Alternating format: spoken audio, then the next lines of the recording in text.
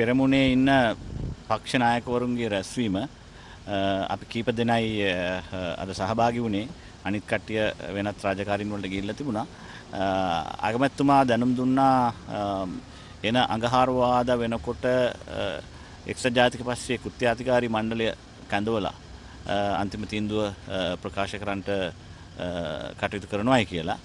ඒ අතරතුරදී අපි ඉල්ලීමක් කළා පාර්ලිමේන්තු කණ්ඩායම හැටියට එක්සත් ජාතික පෙරමුණේ පාර්ලිමේන්තු මන්ත්‍රීවරුන්ත් එක්ක ඒ තීරණයට එකතු වෙන්න අපටත් අවස්ථාවක් ලබා දෙන්නයි කියලා ඉල්ලීමක් කරා.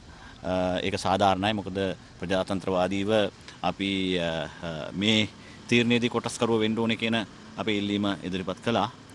අපි ඒ පිළිබඳව ලිඛිතවත් දැනුම් දීමට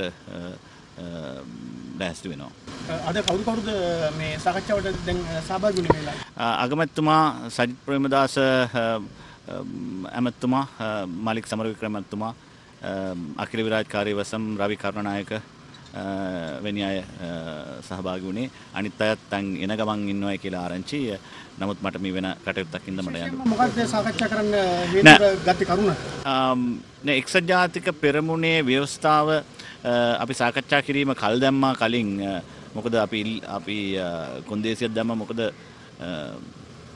මුලින් අපට අපේක්ෂකයා පිළිබඳව දැනගත යුතුයි. ඉන් පසුව තමයි අපට එවැනි ලේඛනයකට එකක වෙන්න පුළුවන් කියලා අපි කිව් බැවින් ඒ කටයුත්ත කල් ගියා ඉතින් කල්ගිය කටයුත්ත නැවත ආරම්භ කිරීම පිළිබඳව අපි සාකච්ඡා කිරීමටයි අද රැස්වුනේ ඒත් එක්කම අපට අවශ්‍ය වෙනවා විශේෂයෙන්ම මේ එක්සත් ජාතික පෙරමුණෙන් අපි ඉදිරිපත් කරන අපේක්ෂකයා ජයග්‍රාහී අපේක්ෂකයෙක් වෙන්න ඕනේ.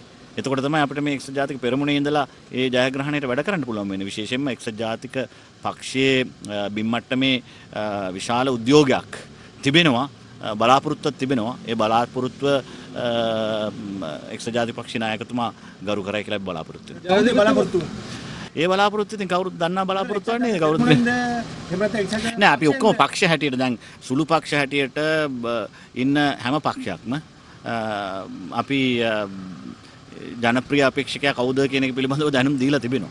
ඉතින් ඒක ඉතින් අපි නැවත නැවත කිය කියා ඉන්න අවශ්‍ය නැහැ. ඉතින් ඒක නායකත්වයක් දැනගන්න ඕනේ. එහෙම නැත්නම් නිකන් අපි මේ පරාජිත ගමනකට යන්න බෑ. අපි අපි හොඳට පේනවා මේ ආ ජන මේ වෙනකොට අවශ්‍ය කිරීම සම්බන්ධව අද මොකද? ඒකම් කාර්යාලය තිබුණු රැස්වීමේදී ජනාධිපතිකම ඔය අහෝසි කිරීම පිළිබඳව ගත්ත ඒ ප්‍රයත්නය ව්‍යර්ථ වුණා. ඕක මන්නම් මේ අවස්ථාවේදී නොකළ යුතු දෙයක්. විශේෂයෙන්ම අපේ කණ්ඩායම මේ වගේ පරාජිත මානසිකත්වයෙන් එවැනි වැඩක් කරන්න ගිය එක අපි සම්පූර්ණයෙන්ම එලා දකිනවා. මේක මේ කවුරු ඒකට කතා කරාද අපි දන්නේ නැහැ. කවුරු කරත් ඒක වැරදි වැඩක් මොකද පක්ෂ නායකයෝ එක්ක සාකච්ඡා කරන්න තිබුණා වැඩි. අනිත් එක පාර්ලිමේන්තුවේ අපි ගිණුමන දීර්ඝ ලෙස සාකච්ඡා කරලා ව්‍යවස්ථා සංශෝධනය පිළිබඳව යෝජනා ඉදිරිපත් කළ තිබුණා. ඒ වගේම මේ විධායක ජනාධිපති ධූරය අහෝසි කරනවායි කියන්නේ ඒකට තුනෙන් දෙකේ ඡන්ද බලය අවශ්‍යයි. පාර්ලිමේන්තුවේ තුනෙන් දෙකේ ඡන්ද ගන්න පුළුවන්ද කියන විශාල ප්‍රශ්නත්වයක් තියෙනවා. ඒ අතරතුරදී කලිනුත් අධිකරණයෙන් තීන්දුවක් ලබා දීලා තිබුණා මොකද විධායක ජනාධිපති ධූරය අහෝසි කළ යුතු නම් මේක ජනමත විචාරණයකට යන්න ඕනේ. ඉතින් දැන් මැතිවරණයක් ඇඳවලා තියෙන අවධියක නොවැම්බර් 16ට පෙර ජනමත විචාරණයකුත් තියලා ඔව කරන්නට වෙලාවකුත් නැහැ. අනිත් එක ජනතාවගේ ඉල්ලීම දැන් විධායක ජනාධිපති ධූරය පිළිබඳව ඒ මානසිකත්වය වෙනස් වෙලා තිබෙනවා. දැන් ඉතින් බලය අඩු කරපු ජනාධිපති ධූරයක් තිබෙන්නේ.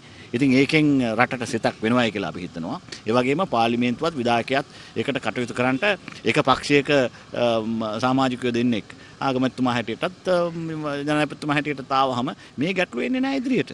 හොඳට ශක්තිමත් ආණ්ඩුවක් ඉදිරියට ගෙන යන්න පුළුවන්. අනිත් එක දිනන්න පුළුවන් අපේක්ෂක ඉදිරිපත් කරන්න ඕනේ. ඒකට මේ මේ එහෙම හොයන්න කවුරුත් අවශ්‍ය නැහැ. අපි ඔක්කොම හොයාගෙන තියෙන්නේ. අපේක්ෂකයා. කවුද අපේක්ෂකයා? ඉතින් සජිත් ප්‍රේමදාස සජිත් ප්‍රේමදාස දැම්මොත් දිනෙනවා. ඒක අනිවාර්යෙන්